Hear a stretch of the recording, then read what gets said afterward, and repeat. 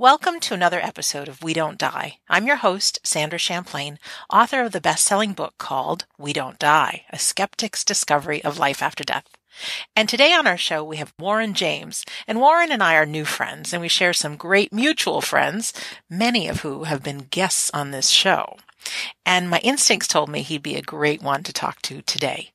Warren is a trance medium, psychical researcher, collector and administrator of the Facebook group Sacred Dance with Trance.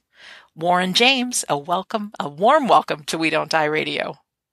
Hello, good afternoon to you, Sandra. It's afternoon over here in the UK. It's morning your time, isn't it? It sure is, but I have a big smile on my face and sometimes I get all jumbled in my introductions because I'm excited.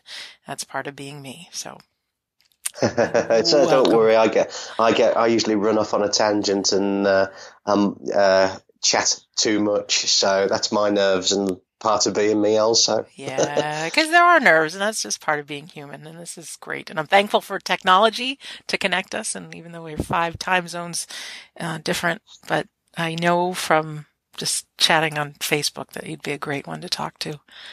Oh, it's my pleasure to be here. Thank you for having me. Yeah. And the good news is we really don't know that much about each other. So I would love to hear your story because it's a very interesting world we dabble in now, the, the life after death and, um, you being a trance medium and who knows what else. So what would you tell us a little bit about your story, how you got into this? Cause I know you've got other things that you do. This may not be a full-time job for you, but, uh, how did you get into this, Warren? Yeah, well, it's it's definitely not a full time job. In fact, I, I, treat it in the same way as a meditator might treat their meditation. Uh, I treat it as uh, something that is developing uh, and that I participate in. Uh, and I don't do it for a living. Um, I can't uh, envisage a day when I will, but you know, who knows? It, its development is a is a strange path, and often your path winds into directions that you never expected it would do. Right. Um, but my first, my first, uh, going back to, I was born in 1982, um, and I, my mum and my auntie are both interested in mediums and psychics and all things supernatural like that. Um, and I was born into that kind of family. It's mainly my mum and my auntie, but some of the members of the family are interested. And I grew up hearing words about mediums and, and what have you. Uh, and also grew up at a time when Doris Stokes, Doris Fisher Stokes, was uh, one of the first real famous mediums in the UK. And I remember that people were reading her books, but I never understood any of it. Um, my mum tells me that as a little boy, I did say some strange things like one evening she asked uh, I asked her what she was doing in my room last night, and she said, "Oh, I just come in to check on your hamster. I had a pet hamster." But the thing is, she hadn't actually been in my room. Oh. so, but I don't really remember that. Uh, I do have one memory, uh, which must have been when I was around five years, six years of age, perhaps. But uh, it's one of those memories where, looking back, I wonder, did I dream it? Did I imagine it?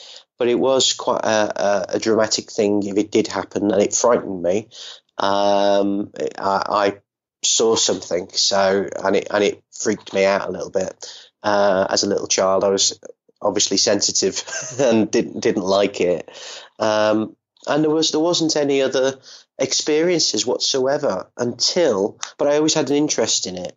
And then in nine in two thousand year two thousand and two, I moved from where I lived, which was near Liverpool in the north of England, to the Midlands in the in the centre of the UK, uh, to Coventry. And when I, I came here to pursue a music career, and the person who's I was came to live with and work with uh, also shared an interest in mediumship and life after death. So we had a lot in common. And as time progressed, I uh, he, I should say, is now my circle leader, Paul. He joined a circle uh, which was sitting to develop physical mediumship, and I'd never heard of it. So at that particular point, uh, I had no knowledge of physical mediumship, no real knowledge of trance. I'd, the only trance I'd seen at that point was an old clip of Colin Fry and his spirit guide Magnus. Yes. And I just thought it was Colin Fry putting on a silly voice. Right. That's, I had no reason to think anything different, you know. Uh, and I wasn't so open minded as I am now. Uh, so I, I, Paul, my friend Paul joined a circle. He told me what was going on and what things were happening, and I just followed with interest. You know, you'll have to excuse if you can hear the rain behind me. I'm sitting in the conservatory and it's just started raining. Yes, so, I can hear it. That's okay. So um, he his circle, uh, this circle he was in was going and you know doing okay. So I suggested, well, why don't we start a circle? So we did from home uh, every Tuesday night, I think it was. We had uh, big bay windows, and I set about blacking out these huge windows to put the room into total darkness because we understood that that's how physical phenomenon will develop is in the dark. Right. Um, so we blocked out every. It took like two and a half hours to get this the living room blacked out. I don't know why we didn't use a smaller room, but we didn't. and um, and we sat. We sat every week, probably for eighteen months uh, in total. I think tw- eighteen months in total, and it was around twelve months in. Nothing had ever happened. We just sat in the dark. Mm-hmm. Uh, the television or other objects in the room might click or tap, but it was just movement of the house. It was there was no absolutely no phenomenon taking place whatsoever, and certainly I never and he never really felt anything. Uh, and then one night there was a sound from the top of the ceiling. It sounded like static electricity, and that was the first sound we got. Uh, and we thought it, we couldn't find any logical reason as what where that had come from. So we continued to sit, and then a gentleman who was in that other circle that Paul was a member of uh, said that at the spiritualist church there was going to be a, a trance workshop, and perhaps Warren would like to come along. So we booked for it, and I did say I would like to go along.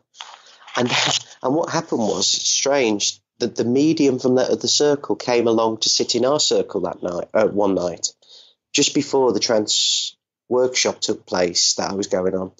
And when she sat, uh, she went into trance, and I'd never heard anybody go into trance before. And a person came through, introduced himself as Montague. His name was Montague. And he said that he w- has waited to work with this circle, and he will do. Hmm. And one, and we said, well, who will the medium be? Can you help us? And he said, yes, it'll be Warren. Oh, wow. So I sat there, yeah, every hair on my neck stood on end. and I sat there thinking, this, this isn't real. It can't be. So I thought, well, somebody's got to be the medium. And if it is me, let's see what happens at this trance workshop, which I went to, um, sat there all day. There was probably about 10 people, maybe maybe slightly less. And I observed these people sitting, they used a cabinet um, to sit in, sitting in the cabinet, uh, and I heard all manner of, of uh, people speaking and saying what I thought was the most peculiar things I'd ever seen or heard. I, I wasn't impressed. I, I, thought these people are bonkers. Yeah. Uh, I thought this is silly. You know, nobody's given anything of any worth because by this time I'd read the Arthur Findlay uh, book on the edge of the etheric, and I'd seen exactly and, and read exactly what was possible. Uh, that you could have two world communication. They should be able to bring your loved ones through. They should be able to prove what they are saying. They, you know, not only say these inspirational words, but they should be able to give genuine proof. And none of that ever came that day. I went and sat in the cabinet. My friend Paul sat in the cabinet. He came with me. I went in three times that day and absolutely nothing. And there was no way uh, I was going to do what was suggested, which was say the first thing that comes into your mind and spirit will lead it. I just wasn't prepared to do that because to me it seemed insane to do that. Yeah. Um, if it's going to happen, I want to hit. I want to know it's real. So the day continued. Um, we got close to the end of the day, and I thought, well, everybody's had their amateur dramatics moment. They've all had their opportunity to to to do to say whatever they thought they were doing, and and I thought that's it, waste of ten pounds. That's what I thought, and they said there's just time for one more person to go and sit. Um, because I was the youngest, they were all mainly ladies in their fifties, sixties, perhaps. So I, I was probably only about 24, or 25 at that particular time. They for that reason, I think they said, "Go on, Warren, you go in again. Go on, do it again." I thought, oh, can't be bothered. you know, I really can't be bothered with this. So just to please them, you did. I went and sat. I did, and and the, uh, the circle leader uh, or the, the workshop leader, John, said, "Would it help if everybody stayed quiet?" Because what the people had been doing all afternoon was professing whoever sat in there that they could see a moustache Oh, I can see a beard. Oh, oh no. can you see a, a Chinese man? Can you see this? Yes, can you yes. see that? And I thought, blimey, you know, this this must be like the common, this must be like the Olympics here because we've got every nationality under the sun allegedly showing up on people's faces. And I thought this is mental. So I said yes, it would because I just wanted them to shut up, to be honest. And I really didn't, I wasn't interested by this point. So I just closed my eyes and sat there. And I thought, well, in a few minutes he'll say, you know, come back. And not that I've been anywhere. so I, I sat there in the quiet. And at that moment, something happened. Unexpected. I felt something. I felt um, a weight on my mind, is the only way I can describe it. I felt a tingling sensation coming down my hands and my arms into my fingers. It was similar to pins and needles, but not as pronounced, and, and somehow slightly different, but it's the closest comparison I can give you. And in that moment, I felt my trembling hands lift up from the arms of the chair, the fingers crossed over uh, or, or, or crossed in some fashion, and out an urge, a push from my throat forced these few sentences out. And he said his name was Montague, the same name that the lady who sat with our circle, the medium who sat with our circle, uh, brought through that, that night a few weeks earlier. And he said that he has waited to work with me. And my circle, my friend, now circle leader Paul, was present. Apparently, he had tears in his eyes uh, because he he realised that I wouldn't do that because of my questioning, inquisitive mind. I would not let myself do something Yes. uh, for the sake of it, and that was the first time it happened. And I wanted afterwards to get out of that room. I, I didn't. I didn't like it. It was alien. He his personality came through. I heard every word he said. Um, but I felt out of, I felt I couldn't control that coming forward, those words. It just happened in that moment. Mhm. With that, everything went in reverse. The, the, the feelings subsided.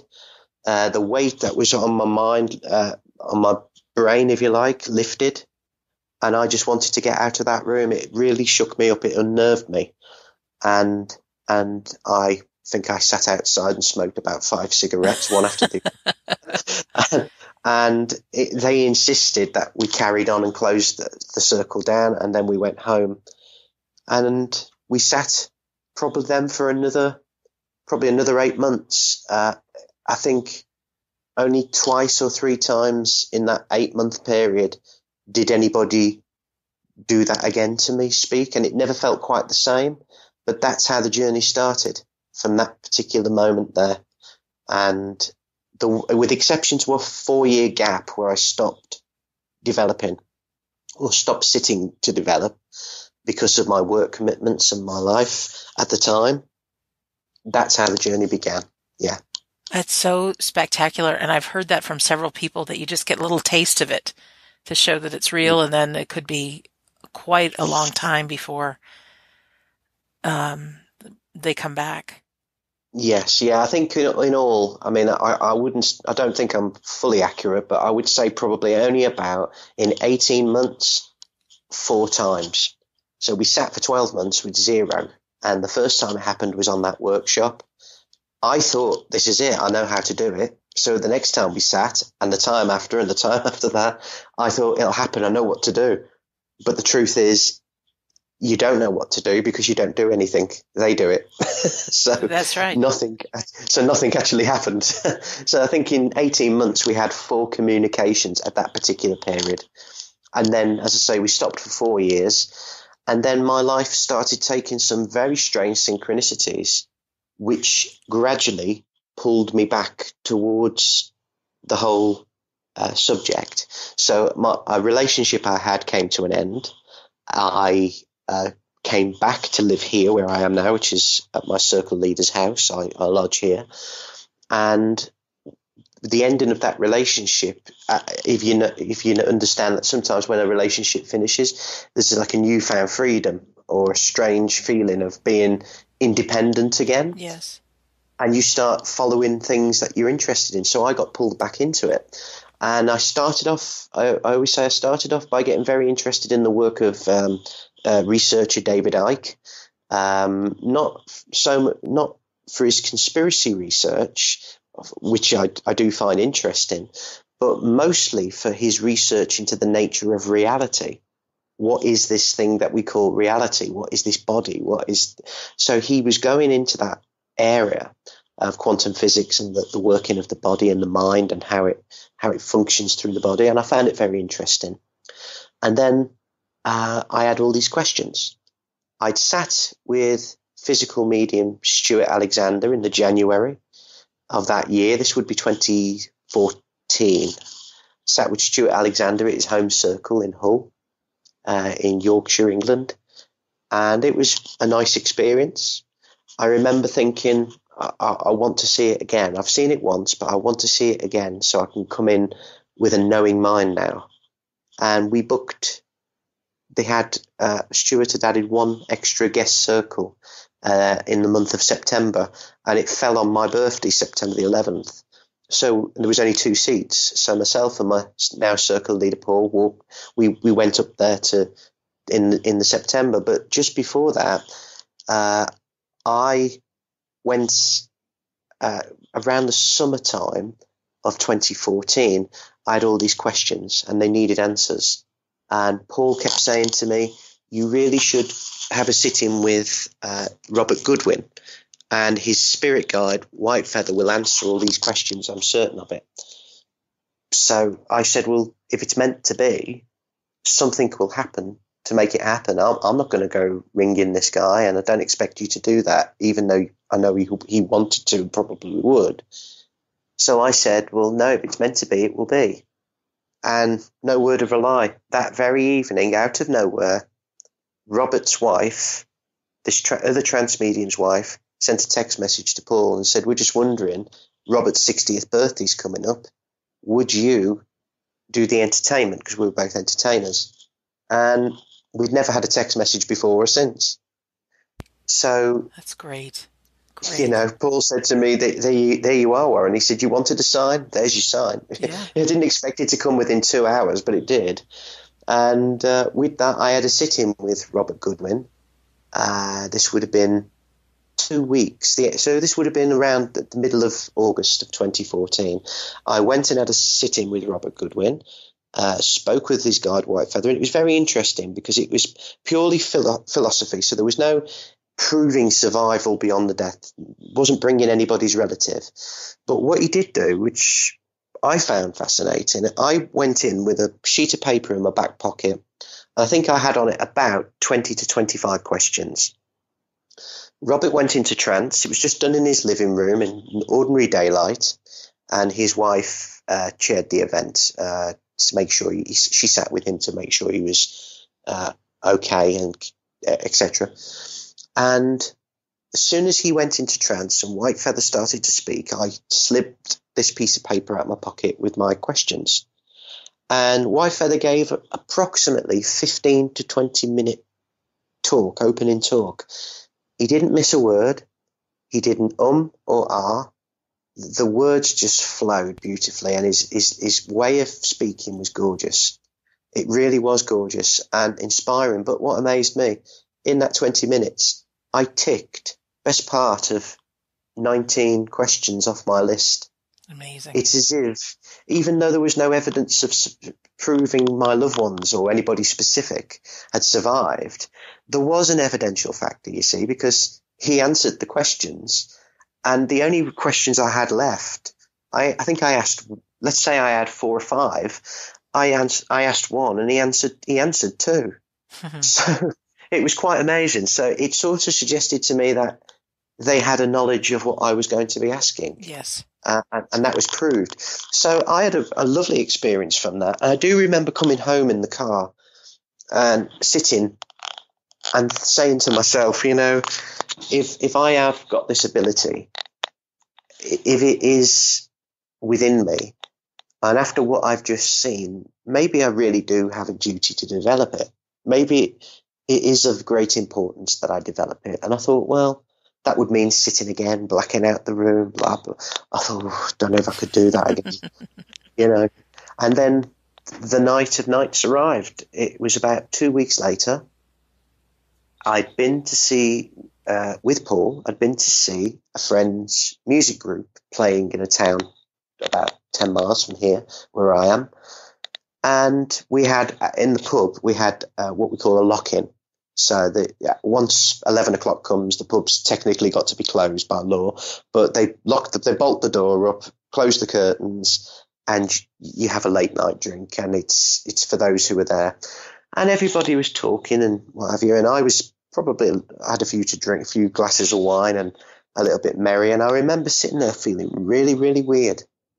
I was just so warm and heavy, and I thought, don't feel right. I feel a bit unwell. So I closed my eyes, and Paul tells me that he noticed my fingers had started to cross over. and he said, God, that he thought to himself, God, that used to happen when he went into trance mm-hmm. years ago. And and with that, uh, somebody said my name, and I jolted awake, went to the toilet, and I said to Paul, I've really got to go. We've got to go. We need to leave now. I don't feel right. So he finished his drink. They opened the door, and the landlord of the pub said, I'll see you lads. Take care. Safe journey home. I walked out. I heard the bolt go on the door behind me as he locked the door and he went in. And as I took five steps, I stopped and I said, I don't feel right, Paul. And with that, everything went black. And I woke up the next morning and I had no recollection of anything that had happened. And during that period, uh, apparently I'd gone, they'd taken control, they had instructed Paul what he had to do, they had given us specific instructions to follow to develop, and told us what night they wanted to sit us to sit. We want you to sit on a Tuesday. We want you to sit in the dark, and we want you to wait. We will instruct. And it, the amazing thing was, is this was on a busy main street, and not a single car, not a single person went by. And Paul was just stuck there with me in this situation. Um, and I remember none of it. And at that point, I remember feeling very, very uh, annoyed, actually. I thought, who are these people that can do this to me without my permission? It, it didn't seem right. Um, so another two weeks went by. I found myself, September had come round. I was at Stewart Alexander's circle again. He's a, obviously a physical and trance medium here in the UK of, of good reputation. And I went there. I'd been there in the January. Nobody spoke to me from the spirit world that night. I just enjoyed the event of watching the physical phenomena taking place and hearing other people's loved ones reuniting. Nothing happened for me. On this occasion, it was different. Uh, Walter, his uh, is one of his principal controls. came and spoke. He spoke to me directly and told me that you have a latent ability. Do you realise that? He said a gift that can be developed to quite a remarkable degree if you so wish, and it'll be your choice. He said, but when the time's right, and when that your life has taken a certain path, the door will open. And when it does so, it'll be your choice to walk through that door, or it'll, it might always remain partly open. And he said, Do you understand? I thought, Well, bloody hell, I thought. Uh, two weeks ago, I had this dramatic experience. Two weeks before that, I had uh, a, a sitting with a guide. Uh, and just before that, I've had all these questions growing, and I have been wondering whether I should rekindle my development. And that's when I decided to do it. So that would we returned to sitting in September of 2014, and everything that has developed since has developed in those few short years. Uh, I've been very, very, very fortunate to have a, a, good circle, but I've also been very fortunate that the, the, the development at the very start did move quite rapidly and now it's sort of uh, plateaued a little bit at the moment, but it's always changing. But that that's how it started. That's that's basically it, Sandra. Incredible. And I don't know, thankfully, too much about you, except for I hear good things. So, I, I mean, I thank you for um, following your passion and really. It's interesting, Warren, because I'm hearing you talk, and although I'm not where you are with trance, I got a little taste yeah. of it at the Arthur Findlay College that somebody spoke through me several times. Yeah. Knowing that I That's... could kind of hear it, but also yeah. being shocked because I'm not directing these words myself or thinking them. Yes. And there's no that's ums right. or ah or coming up for breath. No, that's that's that's it. It, it, it should flow somewhat effortlessly, I suppose. Um, although not necessarily. I suppose everybody's different. I'm sure um, personalities coming know. through, but it was enough of a taste that has me. Although I'm not sitting in a circle, I travel so much for work.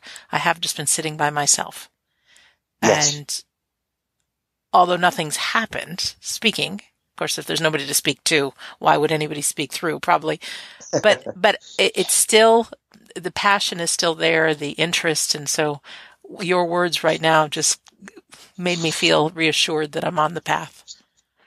Yes, yeah, yeah, without doubt. I mean, it's a, it's a strange path to be on, and it's never uh, smooth. It is very smooth running. It's a very smooth path if we let it be a smooth path. The problem is, though, we're humans and we have brains and minds, and that gets in the way. The only thing that gets in the way of our development really is us and and I've found I've done a very good job at getting in the way of a lot of my development. I've been quite proficient at getting in the way of my development along the way, you know. Um, and the spirit world has constantly had to prove itself to me time and time and time again. And every time they do it, I'm amazed for a few days, and then the doubting, nagging mind starts to to, to wheel its way around. You, can feel the cogs turning, the, the doubting cogs are going round.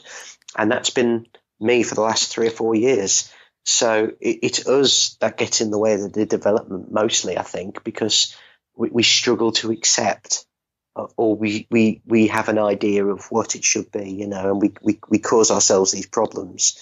Uh, I, I, I, truly think that's probably what, what the biggest downfall in development is, is, is the medium trying to be involved, you know.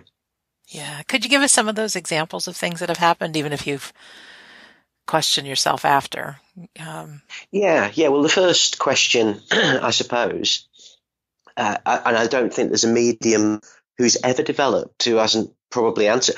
I think you'd be some kind of a breed of person if you've never doubted what's happening. I think you'd have to be a, a, a different person, but uh, you know, almost from from Mars in a way, because I think most of us uh, doubt, first of all, whether this so-called identity that is speaking through, uh, claiming to be an you know incarnate uh, uh, being, you know, are they real? Is it or is it me?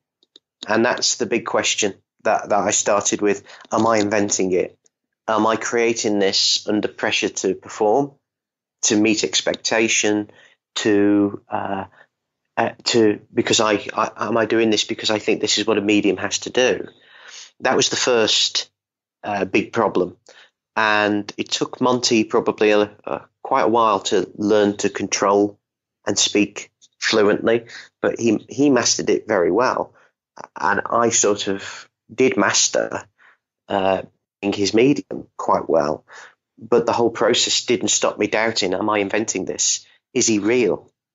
So the first thing they had to do was prove to me that they were real. But before they did that, other personalities started to come and join. So I had once Monty really? got yeah yeah. oh, I, I, I started um, uh, uh, sitting, and then another one night, another one turned up, and I was like, I, I can't. Uh, is this for real? I, I thought he hasn't even proved himself yet. I don't even know if he's real. Am, am, I now creating multiple personalities? You know, do I have some kind of psychological illness? Yeah, sure. you know, and then, but just as that one was starting to get better and proficient, another one arrived.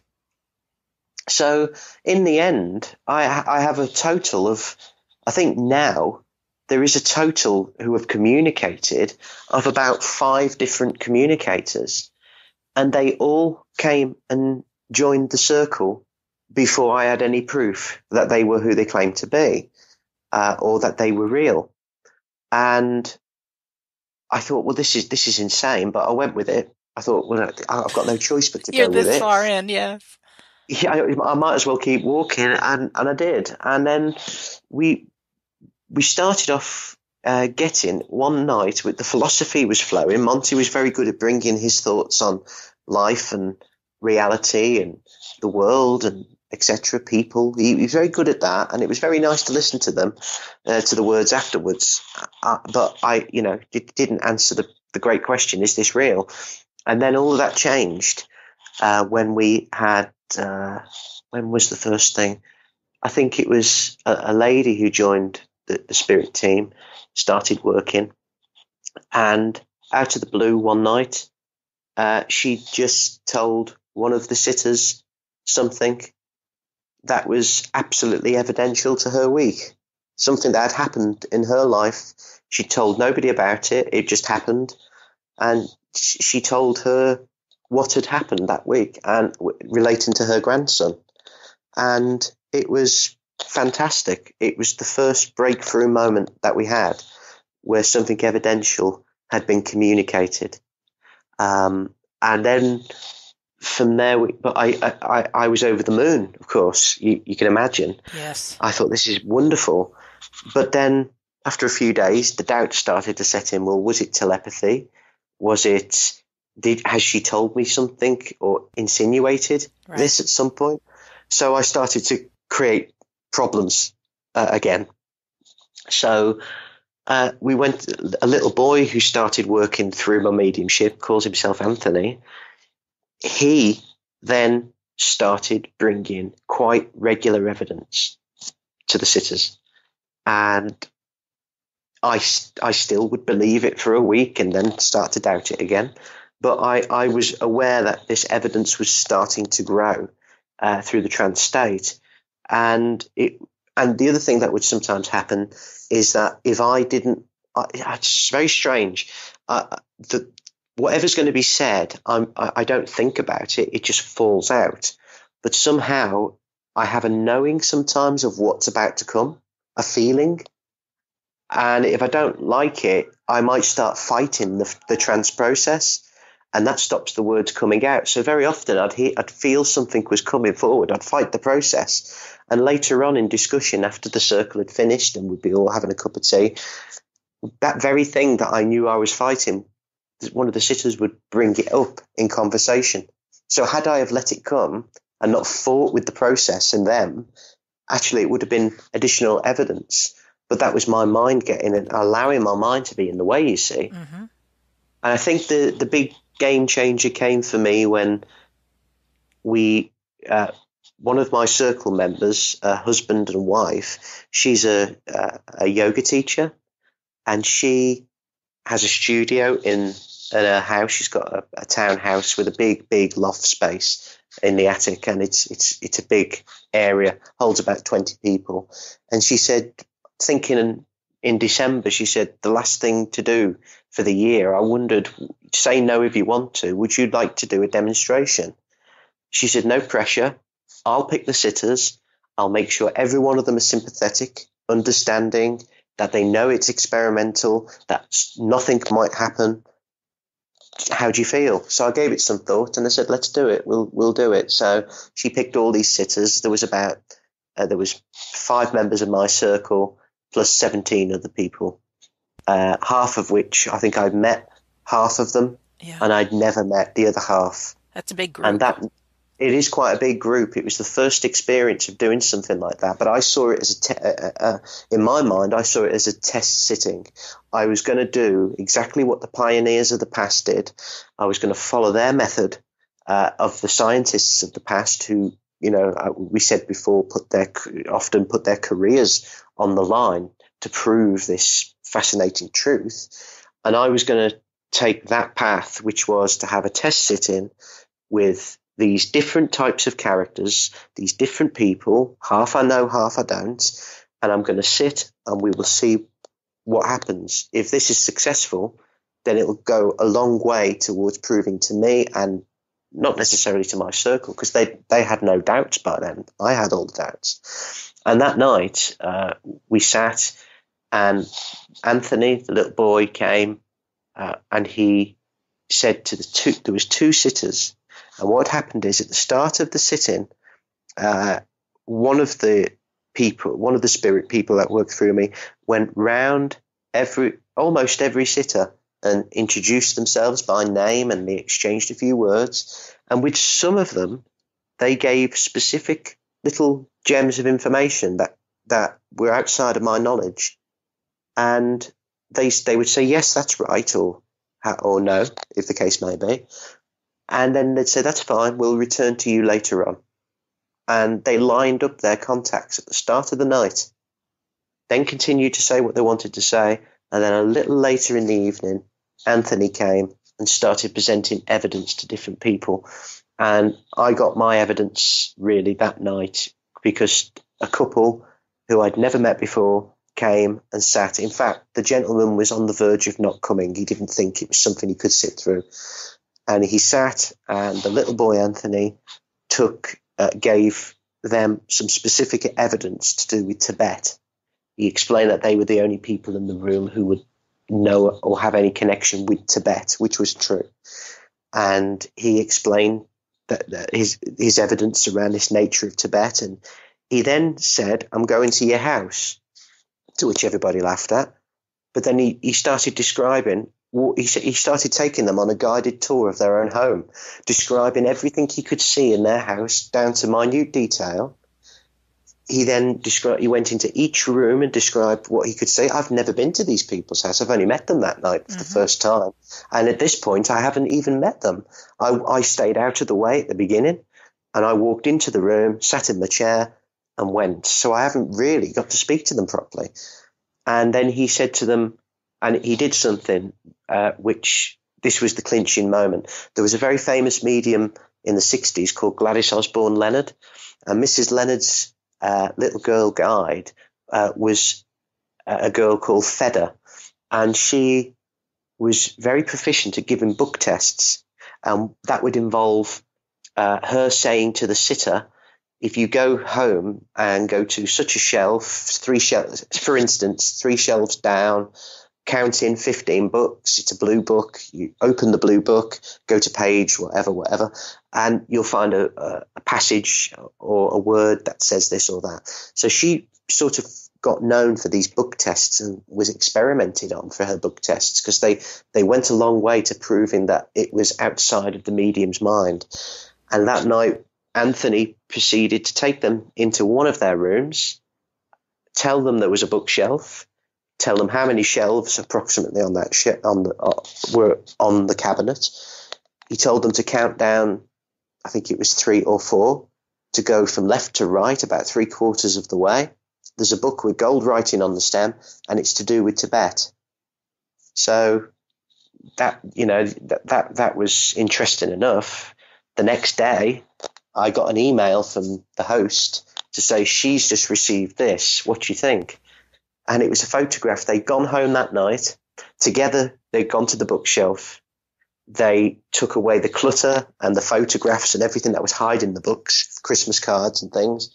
Took them down, went to the shelf, went along. There was a red book, gold writing on the stem, and it was the Tibetan Book of Living and Dying. And I, I get very moved by that yes. because I think that that was the first time, and I'd waited all those years, and that was the first time I got my proof that that little boy was who he claimed to be and could prove it. And if he was who he claimed to be, then the others had to be who they claimed to be. And if they are who they claim to be, that means I genuinely am on a path of mediumship development. I am genuinely a medium, regardless of what anybody else might think. you know, so that, yeah. that was my clinching and changing moment, uh, Sandra. I love that you mentioned that book too, because my journey began in 1996 of a fear of dying. And the first book that I opened that I thought there's something else possible that started me on this journey was the Tibetan book of living and dying. well, there you go. And, and there's no coincidence that you and I are having this discussion today, as we were saying before we started recording, you know, that there's many synchronicities in our paths and the, these things happen, you know, the, these great truths happen. And it's, it's, it's, it's our duty to develop it properly and correctly uh, and and to use it. Hopefully, one day when we're c- developed to the correct degree, to use it to help people. Yeah, and you and I were talking too just before we started recording that this isn't new. Like this, people were scientists and doctors and professors and teachers and involved in this years ago. Yes. So it's yes. not like a new thing. No, no. It's it's if anything, it, it may be having a renaissance at the moment, but it's nothing new. I mean, I think if you research, uh, I mean, it depends how much truth you want to believe a book like the Bible actually holds. Mm-hmm. But if you do read the Bible, uh, that as I know Maurice Barbanell did in his book, this is spiritualism. If you can get hold of that book, it's very hard to find, but I have it it. one. Right, you have it right. right. in front of me. I'm looking at it. As a matter of there fact, you, now that, that to me is a is a wonderful, wonderful book. Yeah. Um, because what it does is uh, he mentions at one point that in the Bible, he, he you know, it is referenced that there were medium, it, that there were cabinets used. They used the, uh, I don't know if it's Arabic or whichever word they they they translated it from, but if you um, uh, if if you take that word, it basically means small structure. And apparently, uh, the, the, the, the disciples and what have you, one of them sat inside this small structure, and I think it was Elijah and uh, and whoever materialized appeared in white. Well, to me, that they are describing a medium sitting in a cabinet, and the white that they are describing is the ectoplasm from the medium. So that's one account that is 2,000 years of age. Yes. If you, if you look at the Quran, it says that Muhammad went into the in, into the darkness, and, and he when he went into the dark, he uh, you know he he heard the voice of God. Well, that suggests to me that he was either a, a, a clairvoyant or potentially a direct voice medium, uh, where the voice was emanating out of the air because of the power that he had.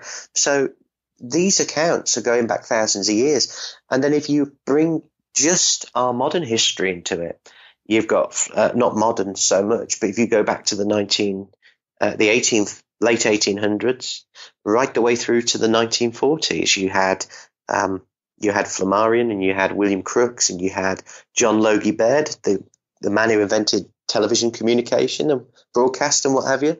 So you had all these people putting their careers on the line to testify and tell people that there is a truth in their research.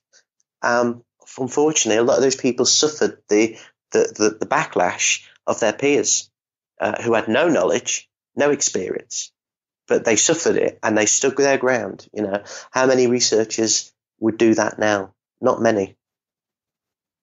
So true. And I don't remember the quote that you had mentioned at the beginning. I'll see if I can find it, if it was Gandhi or who, but the innovators were first laughed at. Can you try to recreate what you said yeah. before we started yeah. recording? I think I do think it was Gandhi. If I'm wrong, then then correct me. But uh, but I, they said that all truth passes through three stages. Firstly, it is laughed at and ridiculed. Secondly, it is violently opposed. And finally, thirdly, it is accepted as self evident. And you find it with any person, you know, who's given us wonderful things uh, or discoveries of life. Firstly, they, they were laughed at for their beliefs and, and their ideas. Then, once they started to uncover the truth and find evidence, the, the stick in the mud people who are happy and complacent start violently opposing their work. They'll throw religion at it, they'll throw everything they can find at it to, to stop it.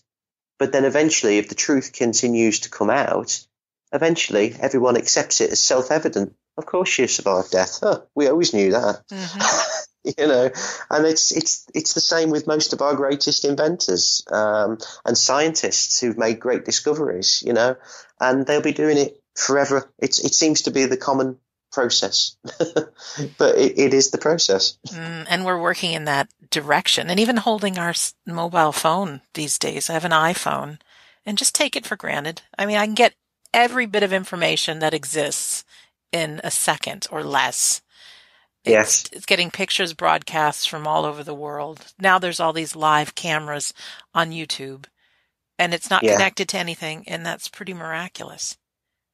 Well, you know, years ago, my first job, I worked for British Telecom, uh, telecommunications. Um, and that was when I left school, I went to work for them. And what you've just said about the iPhones and smartphones, this would have been back in 1999, 2000. Uh, I left there in 2001, I think, at the end of 2001. And my manager there had been to a conference uh, or uh, some kind of gathering that the managers went to. And she said to me and, and the team of people I worked with, we asked her, how did it go and what did you see? And she said, well, she said, you're never going to believe it. I played with a, this device, a phone. She said it was, a, it was like a mini computer and you'd poke the screen. She said, and it had the internet on it it was your telephone, it had a camera, it had calendars, it had this, it had that. She says, and they say that we're all going to have these in the next uh, seven to eight years once the infrastructure grows. And I said, it's never going to happen. I can't see that. You know, it sounded right. nonsense. I mean, why would I want a camera attached to my phone? I just want to make a phone call. Mm-hmm. and look at it now. So I, I, I you know, the, the, that technology was there several years before we got it. So it makes you wonder what is known and what isn't known, doesn't it? I mean, it makes you wonder what scientists at the highest levels know about the afterlife. To them, it could be an absolute truth. And, and they could be very, very aware that we are influenced and guided. Hence why so much effort is made to keep people's minds down these days. You know, lock you in your job, lock you in front of the television, keep staring at your phone seems to be the common path that we're all on. Years ago, 50, 60 years ago, with, without those distractions, many more people sat to develop their spiritual side, not necessarily mediumship, but their spiritual side, their connection with whoever it was there that they believed in, you know. And people don't do that anymore because we have we are a technology driven society and we are taught being taught to work long hours, accept our acquiescence and, uh, and and our place, and to keep staring into the box every night. You know, it's to me the home circle is wonderful because it's the moment where we keep the outside world out just for that hour and a half or so. And then afterwards, we come together as friends and have some food and, and drink. And we see it as our moment to keep the rest of the world out just for one night a week, you know and that, that's to me that's a very important part of the process it's the bonding and coming together you know yeah and i think hearing stories from my grandmother although she wasn't involved with spiritualism but there wasn't the television, there wasn't anything. So families would get together with their musical instruments and friends and they'd sing, they'd laugh. And so it's no wonder some of the great stories we hear of the great physical mediums and trance mediums of the past, they were already getting together, eh, you know, in circles of, so, so to speak, and having this joy and camaraderie. And it's, it was a perfect environment then for the spirit world to step into it. And that doesn't yes. exist now. No, it doesn't. I mean, I can tell you from, from research and, and people's accounts uh, who knew these people and who, people who have known uh, family members of these people of the past, mediums of the past. One of them was Alec Harris, and the other one was Minnie Harrison. Uh, I've heard the accounts of Minnie Harrison's son Tom, who is now taking his uh, his uh, uh, his progression to the to the next world.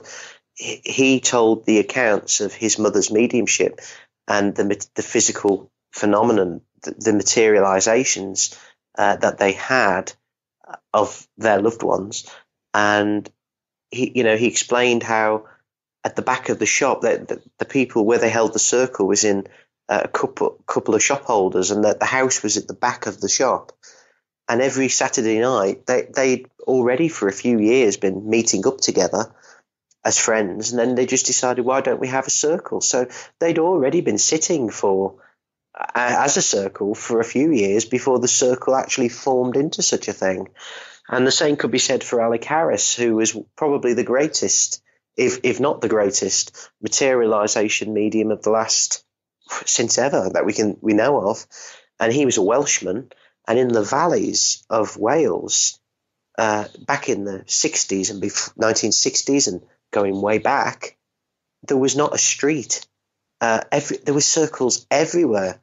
Um, home circles were, were everywhere in that part of the world. And now you'd probably struggle to find one because the distractions are such. You know, we, we do have to, we do have an unhealthy habit of being distracted, and to me, the home circle is that important time of the week when you put the world away and let it go. Just for that one, just give yourself that one and a half hours of, uh, to be with these other people from the spirit world, and for you to be together as friends. You know. That's a beautiful thing. And I'd like to talk a little bit about sacred dance with trance. I've had yes. Kathy Beltran on the show, and I know you're involved with the Facebook group. And I think uh, things like this show and her show and so many wonderful people are sharing, you know, we're, we're letting people know what's happening in the world and what's possible. And my passion, although I love all these interviews, is studying trance and physical mediumship and like what's possible, you know. And uh, yes. I'm grateful that you have you guys share that Facebook group, Sacred Dance with Trance, and then she's got the show. Because uh, if you if you wouldn't mind just talking a little bit about what that is and what's available there. Yeah, well, I came into uh, Kathy and I came into each other's radars uh, back in the summer, and it was through uh, a mutual friend uh, who who gave one of the first interviews uh, to the to the program, uh, and he's a developing medium. I believe, if I'm if I'm wrong, but I, I, don't think I'm, I'm wrong. But he's he's quite in his early stages. So Kathy wanted to get an idea of people from all perspectives. So somebody who's been sitting for 12 months, somebody who's been sitting for a couple of years, somebody who's been sitting for 50 years you know, uh, people who are trance mediums through to physical medium, uh, through to any phenomena that's associated with fran- uh, with trance, from healing to independent voice to whatever is out there. Uh, and I, I was the, I think one of the second or third interviews she gave. I, did, I have to be honest now, you know, I had a big thing about breaking my privacy zone and speaking about these things because I was told I, I always considered my two mentors to have been Robert Goodwin and Stewart Alexander. And Stewart Alexander took the, uh, it's been, always been one of my first ports of call when I've got a problem or a concern that I need to overcome. And, and usually he send, sends me the, the exact same date email every time because I'm usually presenting him with the exact same scenario and problem that I'm creating. Yes. But he always said to me that, uh, it's it's not for a medium to speak about themselves. That's what he was told by his, one of his mentors uh, way back, a man, a man called Alan Crossley. It's not for mediums to speak about themselves. That's for other people to do. So I had a real big deal about going live and giving an interview because I did agree to a point that I didn't want to come across as egotistic. I didn't want to come across as a know-it-all. Uh, I didn't want, but I I also realised that I've done a lot of research, a lot of study, and I've set to develop this thing, and I've now had the proof, you know, that that these people are real. So if I can be of any assistance, so Kathy gave agreed to do an interview, um, uh, or asked me would I agree to do an interview, and I said yes, and we did it pretty much there and then. I think the next day, in fact, we connected. She asked me questions. I just went in blind, didn't want to know what she was going to ask me, and we just went for it. And since then, I think I did another one since then, uh, which was I was talking about mediums from the past. So I gave a presentation uh, on two mediums that have interested me uh, in my own development and uh, over the years. So I did a presentation, and through that, I got to know Kathy a lot more, and Nikki Eagles is also the other admin in the group. And we, we speak virtually every day now, uh, nice. uh, using using WhatsApp. We leave each other silly messages and and uh, wind each other up and tease each other and and discuss the group. When posts come in, do we think that is relevant or not relevant? Uh, is somebody puts a picture of a blurry face on there? Is this transfiguration? I don't know. It just looks just looks like a blurry face to me, you know. So we have these discussions. You know, Kathy's very much the the um, I would say she's she's very much um, how, how, what's the right way to word it? She's she's a, a caring, kind soul who doesn't want to ever upset people, and she's always conscious of that. Uh, Nikki is is is is a great balance to have there because she she's also that way inclined, but she's she's down probably down a notch is the way I describe it. And then you've got me. I'm like a thorn between two roses. I, am I'm, I'm the super analytical, sitting there questioning everything, and and I, I present the element of doubt in the discussion. So between us, we have a good mixture of personalities, a good mixture of views, and different knowledge from different perspectives, so that we can try and bring the best to the group. And and that's the aim. You know, when when it started, I don't think Kathy fully knew which way it was going to go. She just knew she had to do it. And when she asked, "Would I become an admin?" I thought, "Well, yes, I will," because that there's a lot of sharing that I can do about mediums of the past, about their development, about how they do, and mediums of the present. There are you know, developing today some good mediums. Sure. I mean, Stewart is in his 50th year.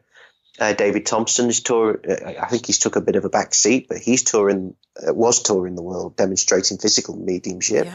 Scott, Scott Milligan, who I know you're aware, you've interviewed, he's his trance and his physical mediumship is way down the line of development. He's, you know, he's probably in his 15th to 17th year, something like that. So he's developing. Uh, so even today, we do have these mediums. It is possible to develop it. It's not gone. It's just our desire. And I think Sacred Dance with Trance is trying to to uh, help people in a social networking world that we live in to just bring some of these people together, or at least inspire them to keep sitting. That's my my stance on it. If we encourage people to start sitting, but if we even encourage people to keep sitting, that's just as important. No, I think it's great. And it's interesting they brought up Stewart and his words because uh, he, he will be a guest on this show coming up very soon. And um, he's got a he's compiled, and I know you've helped compile a beautiful double CD album called Physical Seance Room Recollections, and they're fantastic. And I know when I spoke to Stewart about the interview, he says, "I don't want it to be about me. I want it to be about them and the uh, senior spiritualists and all those people that put their voices on cassettes with all their stories and it and I get it and it's not an ego based thing, but I also think anyone listening to you right now, Warren, knows that you're caring and you're sharing. And we want to hear from somebody who was a skeptic that was on this road. So it's not, uh, so I, bottom line is I thank you for being on your journey and sharing because it helps all of us. I mean, you've helped me tremendously with my own development. Think, oh, let's have a little more well, patience here, Sandra. Of course, yeah, and that is what it's all about. I mean, unfortunately, I've never met uh, until I moved into the spiritualist movement uh, or the area. I, am not. I'm, I'm, I would not call myself a spiritualist um, because I'm I'm not interested in religion at all. And spiritualism since the 1950s has been dogged with this religion tag on it. Prior to that, it, was never such a thing. It was a movement. It was a realization. Uh, it was proving nature, which of course nature requires no religion. But it, it has been dogged with this. But I've never considered myself as a spiritualist. But if I was to say that since I moved into the area of spiritualism and mediumship, I have never in my life come across such a community of backbiting, bitchiness, criticisms, and people at each other's throats, determined to scramble over other people to, to, to achieve what they want. And that's been one of the, the, the saddest things is realizing that spiritualism uh, and mediumship is beautiful, but not all of the characters within it are. And I think from my perspective, realizing that my aim is to be the change you want to see in the world, like to be it. different to that. And in order to help people, you you do have to stick your head above the parapet, I suppose, and take that chance, the gamble, which is what I did with Kathy's interview. Exactly what I'm doing with your interview today. Mm-hmm. If my words help one person to to maybe not do what I did and over question or create so many blocks, then you you've helped one person. If you've helped one, that could be the very thing that the world needs. That support and encouragement, people to be friends. Yes, we do have to look at things analytically. Yes, we do have to question whether there's a perfectly plausible explanation from time to time for some of what happens. Sure.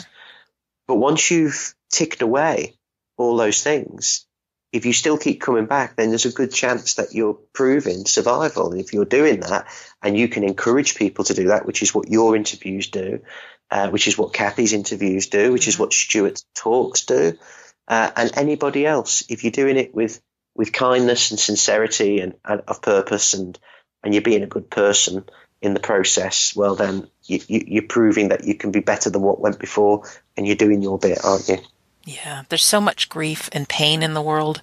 And if we can help lift somebody's spirit, so to speak, and give them hope, and even set people forth on their own journeys, because there's no reason why, after listening, if somebody's interested in this, they can't start sitting, right? Well, exactly. You've you've got a choice, haven't you, in life? You can you can you can be somebody who's a, a, a theory obsessed person. They're the people who read all the books but they don't put it. They they can tell you what meditation might do for your life. They can tell you what this might do for your life. It's the equivalent of the kind of person who they can tell you how to. They've got the book that tells you how to assemble the car. Right. But unless you actually put your hands in and get them dirty, and actually start practically working, then you're only ever playing games with theory. So it's the difference between you, your choices. You can be a theory worker you can be theory and practical together. Or the alternative is that you could get your proof from the medium and you could say, well, that's it. It's proved it. I, I now know I won't die. Yeah. And that'll do for me. And I'll carry on with my life in a happier way and I'll, I'll enjoy every day as it comes, knowing that there is this next world that's very similar to ours on the horizon you know, and you'll you will meet up with your your friends, your family, your siblings, you, whoever. So you've got those choices, and if people have the choice to make, some people it's not for them. Some people are better uh, speakers, like we say, those scientists in the past that they, were never going to sit to develop it, but it through their skills they were able to bring it forward uh, journal- journalists or people who do interviews like yourself and like Kathy, you're using what is naturally within you to help spread the word. So whether you choose to sit and develop is irrelevant. That's if you do, it's fantastic.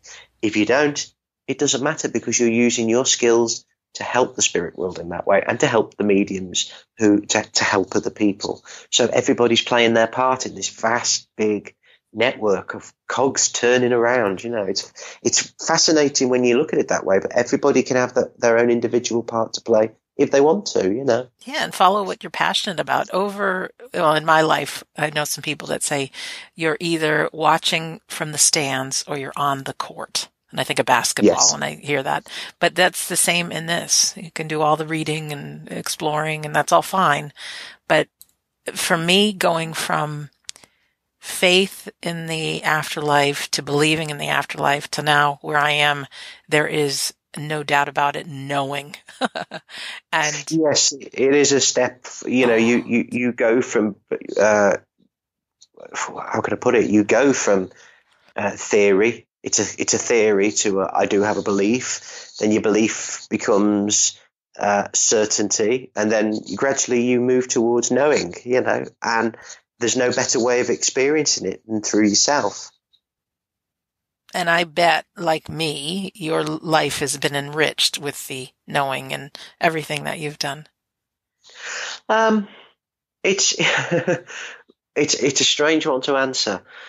It must be enriched, um, but of course, I, I get very easily pulled into the area of everything that's ever made me doubt. Yeah. So because I have that questioning mind, if I was somebody who was how could I put it, away with the fairies a bit more. uh, new age, yes. new age, you're out there and all that. You know, hey man, if I was a bit more like that, I'd probably be superly enriched by it.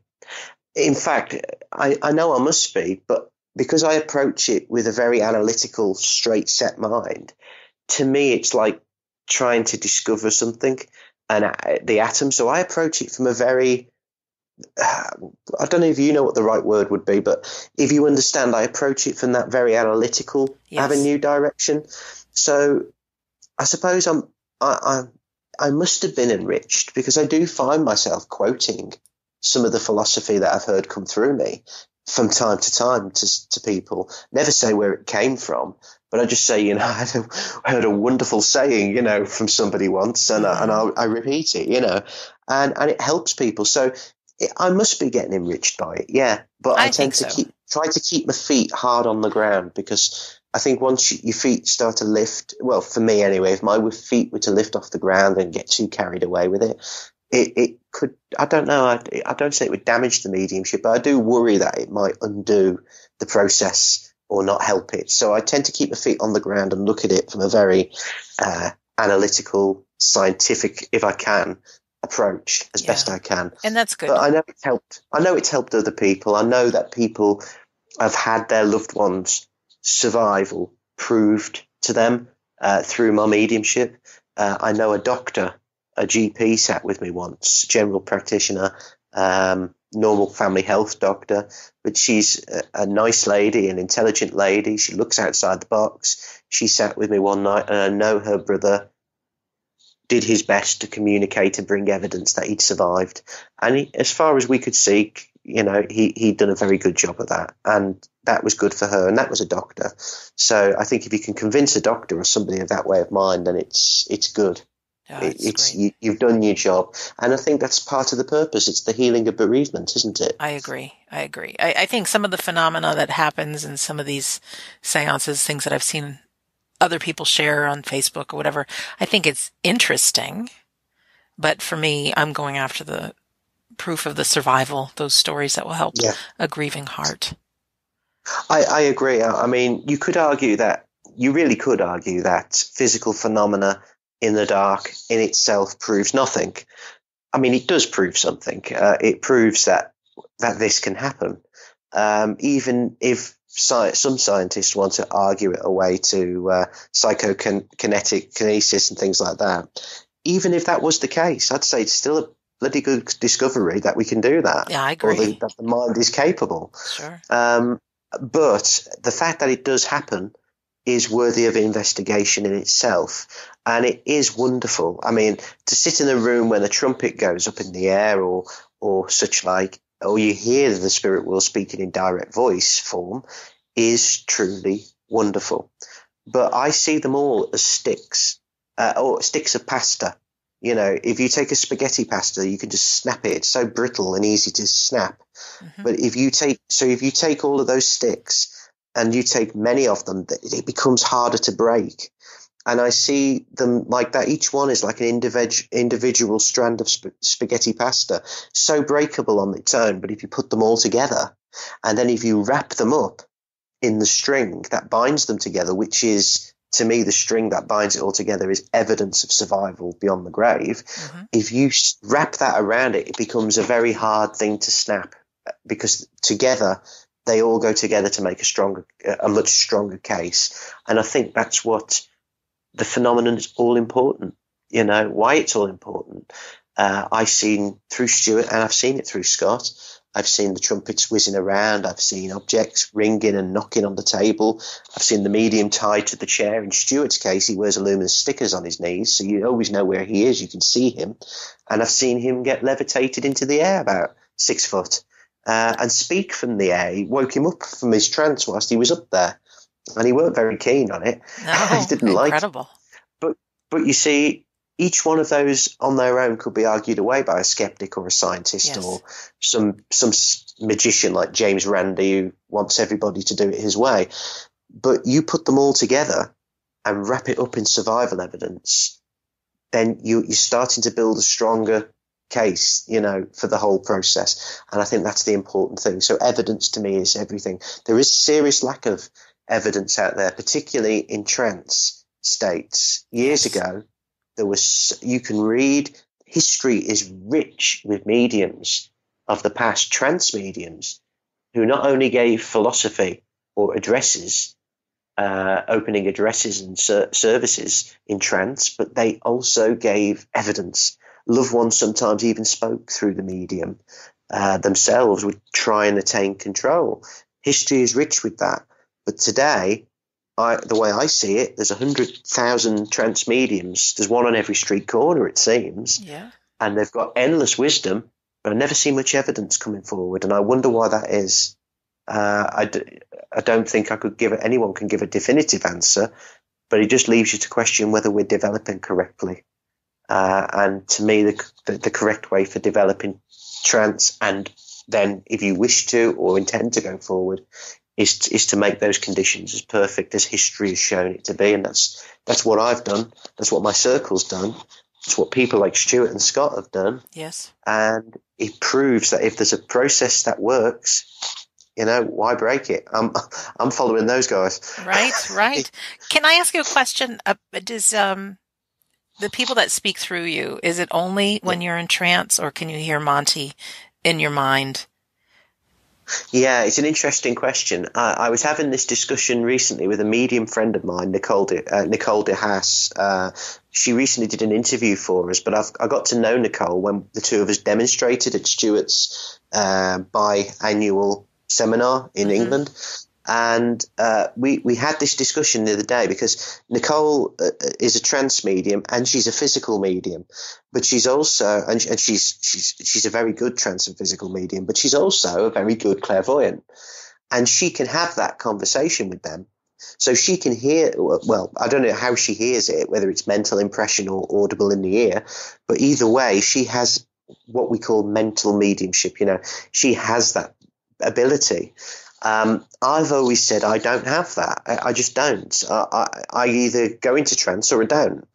Uh, but I have found that certain things in my life, uh, certain situations, certain uh, things I might have said, uh, have later or been inspired to say, have later been connected with one of my spirit people. So you could argue that perhaps they influenced me uh, through the mind in a much subtler way than perhaps they can influence Nicole or another medium of that nature. So I would say no, because I have no conscious awareness that they communicate through me. But I have, it has been proved that some things I've said from time to time have been proven accurate. So you could say they have a subtle connection, maybe that I'm just not so conscious of. Oh, it's a great answer. That's a personal question for my own journey. yeah. So many people yeah, say, "Oh, they say tell me this," and oh, this one's speaking, and I just quiet my mind. I thought, Really? okay. Yeah, yeah, it's a very strange thing. I mean, no, no, no two forms of mediumship or any form of mediumship is the same. You know, in the same manner as nobody's fingerprints are quite the same, and nobody's even two identical twins are not quite identical in every way. And I think mediumship is exactly the same. Uh, it's it's to be developed uniquely. I think people will discover. Some people discover that they have these unique strange quirks about their mediumship, you know. So some people can quieten their mind, I'm sure, and that they can hear the inspiration of that world. Um, myself doesn't seem to happen for me. I can sit in meditation if I want to, and and and I don't feel I hear the spirit world. I think I did have two cases my, that I can say I remember. I went on a meditation retreat where you sit in stern silence for 10 days solid.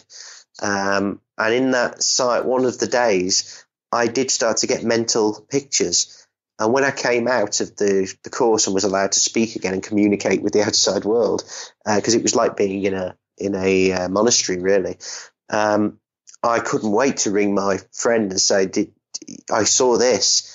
And he was like, "That is so my dad." That is my dad. Wow. You've described him to a T. And whilst I was on the meditation retreat, he'd been in Thailand uh, because he's a yoga practitioner. And he'd been in Thailand at, where he qualified to teach yoga. And he was back there as a student. And he'd had a dream.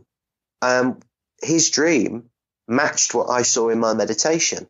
So it, it, it's possible. I think we just have to accept that mediumship is unique, and it took me a long time to accept that.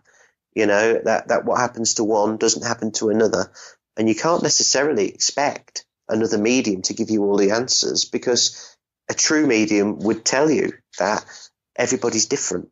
We can just we can just be your support if you like and help you to bring it out of you, uh, but you have to do the, the the hard work. You know, and these strange quirks of clairvoyance or clairsentience perhaps they do exist. People ca- who can quieten their mind and hear their guides speaking to them. Mm-hmm. Unfortunately, it's never happened to me in a conscious nature, though. Unfortunately, I wish it would. Be fantastic. You never know. And I I talk to many guests, and they say the first start step is quiet your mind, whether you call it meditation or before you go to bed or during the day, just and just say to the spirit world, "I'm here." use me, yeah. you know, and let's develop that relationship and then just quiet your mind and start there. So it's something we can all do. And we are all so individual. So we don't have to compare ourselves to someone else. I mean, to just get that there may be a person or a team of people that we can't see that are on our side and, uh, and it's all great. Yeah. Well, Warren, it is great. I've kept you a long time on this interview, so we should probably wrap things up. But is there anything else you want to share that I haven't, uh, that you haven't said, or? Um, no, not really. I, th- I think we've covered everything. All I would want to do is to encourage people listening to this to sit and develop their mediumship if they if if they're inspired to do so, and and also be happy to accept what situations come your way to work for the spirit world in many different ways. You know, don't believe you you have to only be the mediumship. Finding, as as Nicole, uh, my friend Nicole said, finding a, a physical medium is rare, but finding a good circle is also equally, probably more rare than a good physical medium.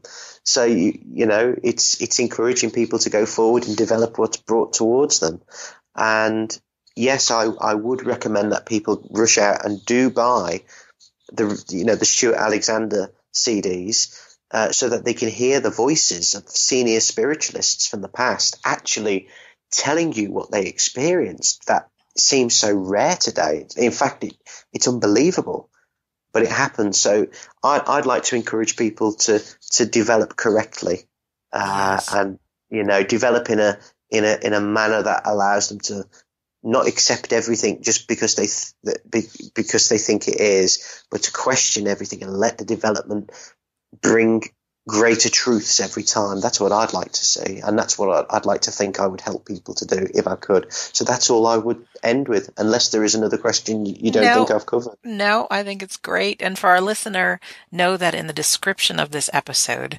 I have a link to Sacred Dance with Trance and to the CD we're talking about, Physical Seance Room Recollections. And if you're just listening and you can't access that, you can go to stewartalexandermedium.com and find the information there. Uh, so Warren, thank you really from the bottom of all of our hearts for being our guest today. Oh no, it's my pleasure. Thank you for having me. I'm I'm rather uh, surprised that uh, these avenues are opening up to me all of a sudden, and I'm taking them because I don't believe life brings you what you don't need. So everything must be coming for a reason.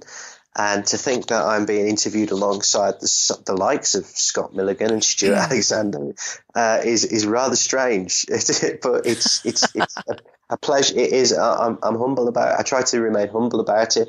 It is a pleasure. It is a privilege, and I thank you for the work that you do and keep doing it because it's it's important. I love it. And I know not everyone can come with me on some of the adventures I'm on. So if we can share this way, it's fantastic. But I do recommend yeah. everybody, if you're interested, get on the court. You know, yes, read, but explore, sit, maybe create a circle, a home circle. And it's, there's so much pleasure and joy being with like-minded people. Oh, and I also want to invite our listener, if you haven't already, we have a Facebook group. You can just type in We Don't Die Listeners. And there's uh, over 3,000 people now that are just gathering and like to talk about this and support each other through grief. And it, you know, all kinds of conversations we have. And also we do have the group Sacred Dance with Trance on Facebook. Uh, there's a link in this um, description. So I want to just close out by just a couple of brief announcements. They, we are going to be at well, we, me and some other folks, not Warren as of yet, but in September, um, 2018 in Scottsdale, Arizona, we have the annual Afterlife Symposium that we actually do have scientists and mediums and we have both David Thompson and Scott Milligan who will be there for that physical mediums and some trance mediums joining for a weekend, which will be beautiful.